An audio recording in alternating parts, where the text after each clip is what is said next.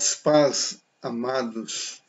Nós estamos aqui para mais um Me Conta, esse programa da Igreja Batista do Conforto, que tem como objetivo trazer aqui pessoas que foram alcançadas, que foram transformadas pelo poder de Deus, mas pela instrumentalidade de dois programas muito importantes da nossa igreja, que é o Celebrando a Restauração e os pequenos grupos multiplicadores. Temos falado de assuntos bem relevantes e hoje nós vamos falar de mais alguns assuntos que têm a ver com a realidade de vida de muitas pessoas, que pode ser que você que nos assiste possa se encontrar na realidade de vida de quem vai estar trazendo hoje o seu testemunho e isso possa ajudar a sua vida. Hoje nós vamos estar falando sobre depressão, sobre compulsão alimentar e compulsão financeira. É, o programa Celebrando a Restauração é um programa muito importante da igreja. Ele teve sua origem lá nos Estados Unidos, foi importada de lá, né, e em Volta Redonda é a primeira igreja a ter esse programa foi a Igreja Batista do Conforto. E temos colhido frutos por conta desses anos que temos trabalhado com relação a isso. Por falar em depressão, eu queria trazer alguns dados aqui que são bem importantes para que a gente reflita sobre isso. 5,8% dos brasileiros sofrem de depressão. Isso significa 12 milhões de compatriotas nossos que sofrem com isso. A média mundial é 4,4%. Veja bem, nós estamos em 5,8% contra 4,4% da média mundial. E segundo a Organização Mundial da Saúde, o Brasil é o país mais deprimido da América Latina. E uma pesquisa feita também pela Organização Mundial da Saúde diz que de 2006 até 2015 houve um aumento de 24% das mortes é, por suicídio. E o mais triste é que a faixa etária mais atingida por este mal, o suicídio, é de adolescentes na faixa entre 10 a 19 anos de idade. Compulsão alimentar, temos vários tipos, né? vamos estar tratando disso hoje, mas eu queria trazer aqui algo que é bem interessante. É, você sabia que o nome dado para essa compulsão financeira ou consumo compulsivo se chama neomania. E no mundo, entre 2 e 8% das pessoas são atingidas por essa neomania, esse consumo compulsivo. E algo interessante, essas pessoas, não importa se têm dinheiro ou não, esse mal atinge até pessoas que não têm dinheiro. E nós vamos estar hoje trazendo aqui um casal muito querido na nossa igreja, que é o nosso irmão Elimar e a nossa irmã Eliana. Irmã Eliana, gostaria que a irmã nos contasse como foi esse período que a irmã sofreu com a depressão e como foi é, essa época marcante na vida da irmã. Eu tive a depressão profunda, que é aquela que você fica, a gente chama de quarto escuro, né? Que literalmente eu ficava dentro do quarto. É, perdi na época a noção do que eu tinha, do que eu não tinha, de roupa, de cor. É, não tinha força mesmo, energia do corpo, nem para fazer uma comida, um café. E muita tristeza, chorava muito, muita aflição no peito, sentia demais, uma coisa me apertando assim por dentro. E eu, se uma pessoa não oferecesse um café, uma comida, eu ia ficar mesmo dentro daquele quarto. Se não oferecesse uma ajuda, até para trocar uma roupa, eu ia ficar dentro daquele quarto. E na época, eu tive o diagnóstico de depressão, mas eu me recusei a tomar remédio. Isso quatro anos atrás de ter a depressão profunda. Eu achei que não, não ia precisar de tomar remédio. Só que eu paguei um preço, né? porque essa falta de remédio, quando eu entrei em uso de remédio, os remédios não davam certo. Eu troquei de remédio várias vezes, nada dava certo. E eu só piorando, só piorando. E foi aí que eu precisei, por causa da depressão profunda, sair de uma cidade e vim para Volta Redonda, para perto da, da, da, minha família, e buscar ajuda mesmo, né? Eu estava num estado que eu tinha pensamentos recorrentes, não tinha pensamento de suicídio no sentido de fazer alguma coisa com a minha própria vida, tirar a minha própria vida, mas infelizmente tinha pensamento é, suicida. Que é qual era o pensamento? Eu pedi a Jesus para me buscar. Várias vezes falei para Jesus me levar, me buscar. Mariana, gostaria agora que a irmã contasse como foi que a irmã conseguiu sair desse quadro de depressão profundo, onde a irmã é, não tinha vontade de sair do quarto, pedia até para Jesus é, levá-la, tirar a sua vida. E qual foi o papel do Celebrando a Restauração da Igreja Batista do Conforto nessa ajuda, é, na mudança de vida que a irmã teve? E como é que a minha vida deu uma guinada, né? Após esse quadro né, que eu estava, eu recebi uma visita do pastor Carlos, não sei se ele lembra, e ele leu para mim o Salmo 46, que fala ali que Deus, né, é que é o meu refúgio, a minha força.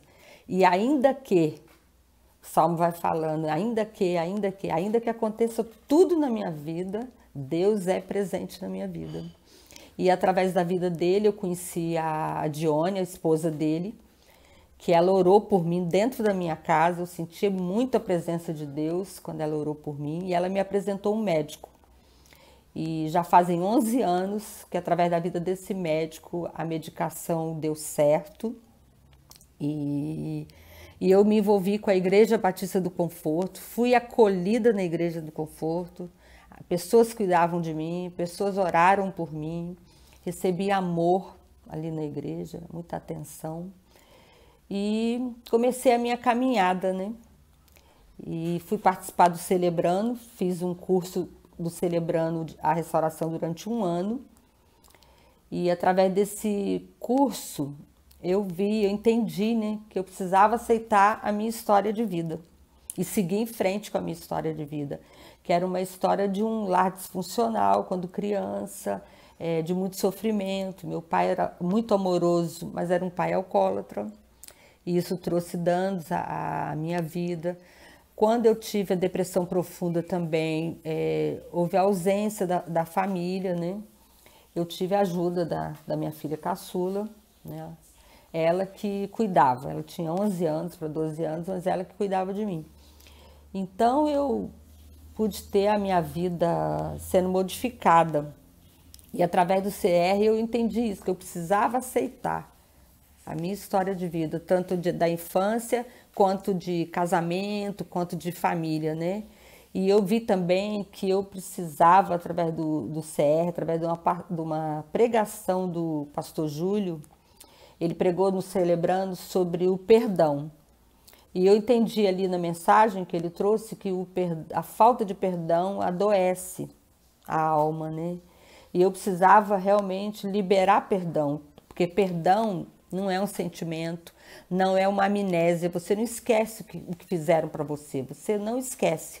Mas no celebrando a restauração, você aprende que você precisa decidir perdoar e também perdoar a si mesma, né? E contar que, que Jesus perdoa as nossas falhas, as nossas fraquezas, né?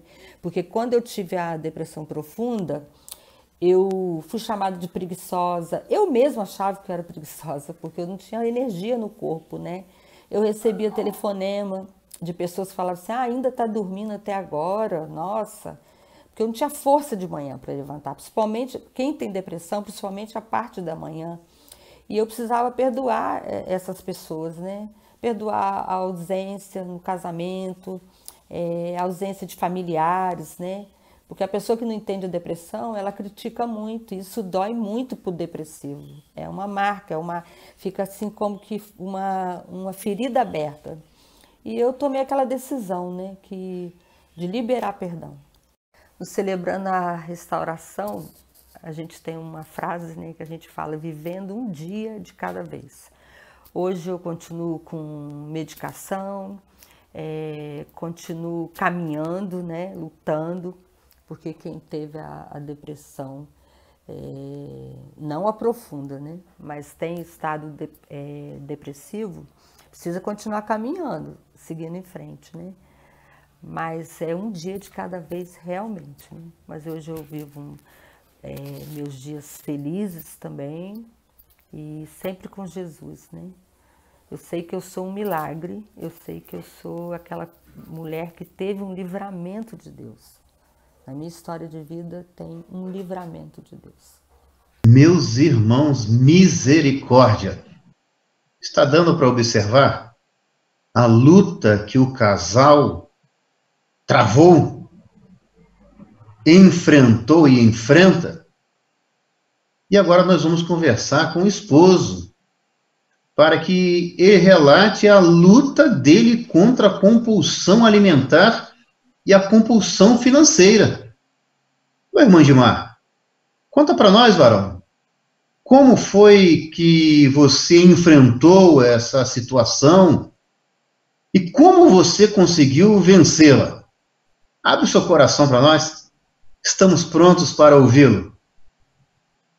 Pastor Carlos, Pastor Paulo, a minha história de, de compulsão foi muito triste porque eu não tinha ideia e nem sabia o que era isso.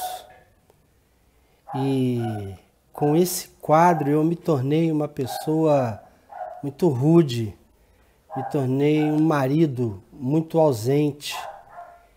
Eu cheguei a pesar 105 quilos. Eu tudo que fazia, eu fazia excessivamente. Então, o meu quadro estava se agravando dia após dia. E em casa com uma esposa com quadro de depressão, sem entender e compreender o estado de saúde dela, completa, completamente ausente. Era como que se não tivesse uma pessoa doente dentro de casa, achando que aquela pessoa não estava doente e não se importando com o quadro dela e nem com a família.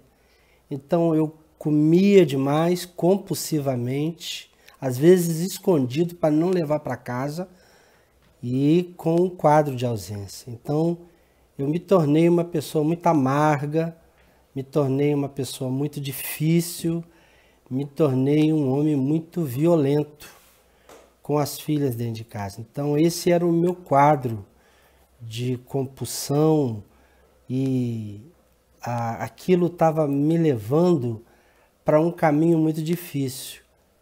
E mesmo com a depressão, a minha esposa às vezes me dava um toque. Ela chegava para mim e falava: "Você precisa de ajuda". E ela falava: "Você precisa de ajuda". E eu não não dava voz, não dava ouvido a ela. Então ela sempre falava: "Você precisa de ajuda". Até que um dia, num quadro completamente ruim, eu fui buscar ajuda. Meu irmão, que situação, hein? Então você pensou que o problema maior era a compulsão alimentar e frequentando, celebrando a restauração, você identificou através de alguns depoimentos, testemunhos, naquele momento de partilha, de que você também lutava contra a compulsão financeira. Ô meu irmão, conta para nós, como você está lidando agora com essas compulsões? O que você está fazendo para vencê-las? Então, irmãos, eu estava no fundo do poço. Eu não pagava mais os meus compromissos, minhas contas. Eu fazia é, questão de, de enrolar os outros. Então eu estava no fundo do poço mesmo. Eu não fazia planejamento, eu não fazia orçamento, então sempre faltava, sempre faltava. Eu estava no, fim do, no fundo do poço, então eu estava vivendo um quadro muito ruim e um dia, no aniversário de 18 anos da minha filha, foi que realmente a ficha caiu de verdade. Eu não ouvi uma pregação, é, não foi uma pressão que fizeram em cima de mim, foi um fato que aconteceu que eu vi que eu estava doente e precisava de ajuda. Eu estava em casa, minha filha completou 18 anos e ela pediu para fazer um jantar para receber os amigos dela em casa, naquela noite. E eu lembro que era 4 horas da tarde, como se fosse 45 do segundo tempo. Chega um caminhão da Light lá em casa e corta minha luz meses sem pagar a luz. Já tinham me cortado a água, eu tinha feito uma gambiarra, emendei a água, agora eles foram cortar minha luz, porque eu não tinha ideia de que tinha luz para pagar. Cortaram a minha luz. Eu até ali, não, aquilo não, não me fez mudar de ideia. Até aquele momento, o corte da luz não me fez mudar de ideia. Mas quando a minha filha chega do trabalho, e que eu falo para ela que cortar a luz, que o aniversário dela não ia poder ser lá em casa. Quando ela olhou para mim, ela não falou nada, ela só olhou para mim. Aquela cara de desapontada, aquela de decepção, de frustração. Aí, irmãos, eu vi que realmente eu precisava de ajuda. E fui. A minha esposa já frequentava o CR ela me falou do CR. Eu fui no CR, na verdade, para tratar uma compulsão alimentar. Quando chego no CR, eu entro na sala da partilha, eu percebo que o meu problema era financeiro também. Além da compulsão alimentar, a compulsão financeira, porque você gasta sem ter, compra sem ter, né? tem prazer em comprar as coisas e não pagar. Então eu estava vivendo esse quadro. Ah, irmãos, quando eu entro naquela sala de partilha e vejo pessoas com o mesmo problema que o meu ou em outras áreas da compulsão financeira, olha, aquilo mudou completamente a minha vida. Aquilo mudou a minha vida de uma forma radical. Olha, parecia ser uma coisa tão simples, mas para mim não era, porque eu estava doente e precisava de ajuda. E quando as irmãs e os irmãos começaram a compartilhar as suas necessidades, começaram a compartilhar ah, de como eles conseguiram ajuda, irmãos, aquilo fez toda a diferença na minha vida. E sabe qual foi a primeira coisa que eu fiz quando cheguei em casa? Foi pagar o meu aluguel, porque eu não pagava aluguel. Quem pagava o aluguel para mim morar era o, o meu pai, os meus irmãos. Eles faziam vaquinha e pagavam o meu aluguel. Então, eu não pagava o meu aluguel. Então, a primeira coisa que eu fiz foi reunir meus irmãos, agradecer e pagar o, o aluguel. Olha como isso foi importante na minha vida. De lá para cá, eu não precisei mais de cheque do meu pai para me fazer compra no supermercado não precisei mais dar calote nas pessoas, porque eu estou vivendo um dia de cada vez. Então aquilo foi muito importante, celebrando a restauração na minha vida, antes e depois. Fez toda a diferença na minha vida. E hoje, graças a Deus, nós temos uma família com equilíbrio, nos relacionamos muito bem, nós nos perdoamos, o perdão é tudo. E há um texto na palavra de Deus que eu coloquei aquele texto na minha vida assim como um objetivo central. É o texto de, de Crônica 7,14, 1 Crônica 7,14, que diz que se o meu povo que se chama pelo meu nome se humilhar e orar, buscar a, a minha face e se converter dos seus maus caminhos, eu precisava disso tudo. Eu precisava me humilhar diante de Deus reconhecer que estava doente e que era um dependente e que precisava da ajuda de Deus para caminhar. E eu fui em busca desse Deus que fez toda a diferença na minha vida. Eu me humilhei, eu orei pedindo socorro, eu busquei a face dele, eu me lancei diante dele buscando ajuda. E o meu caminho ali mudou, me converti dos meus maus caminhos. Eu dei uma volta na minha vida. Isso fez toda a diferença. E o que Deus fez? Ele ouviu do céu, perdoou os meus pecados, as minhas ações, tudo aquilo, aquilo que eu fazia e sarou as minhas feridas. Eu não tenho a consciência pesada mais. Eu não luto mais com isso. Eu não tenho mais aquilo na cabeça que fica que fica que vinha todo tempo minha esposa infeliz, minha filha infeliz, né? Nada dá certo, nada funciona. Não. Hoje eu penso diferente porque Deus mudou toda a minha situação, porque eu pedi perdão, ele me perdoou e eu consigo caminhar. Então vale a pena frequentar o celebrando a restauração. Ele fez toda a diferença na minha vida, porque Deus está nesse negócio. Meus irmãos, misericórdia. Como não acreditar no poder de Deus? Como não acreditar na ação de Deus na vida do ser humano, que é a imagem e semelhança do próprio Deus? Eu não sei a sua luta, eu não sei o seu problema, eu não sei a sua dificuldade, mas assim como a irmã Eliana está conseguindo lidar com a depressão, assim como o esposo, o irmão Edmar, está conseguindo lidar também com a compulsão financeira, a compulsão alimentar, cremos de que Deus pode agir em seu favor. Acreditamos na ação de Deus. Aqui você verá os links. Entra, entra nesta sala de oração, Ali estarei com o pastor Paulo Henrique, nós estaremos com o ministério de intercessão da nossa igreja, nós teremos ali irmãos interessados em querer ouvir a sua voz, para juntos levantarmos um clamor pedindo a intervenção de Deus em seu favor.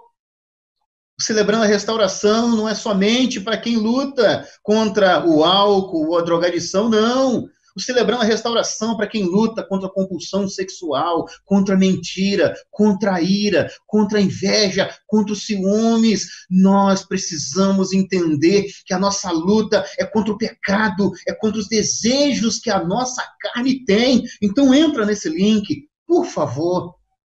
Você está tendo uma oportunidade de ouro. Entra e estaremos invocando, suplicando pela bondade, pela misericórdia de Deus em sua vida, em sua família, em nome de Jesus.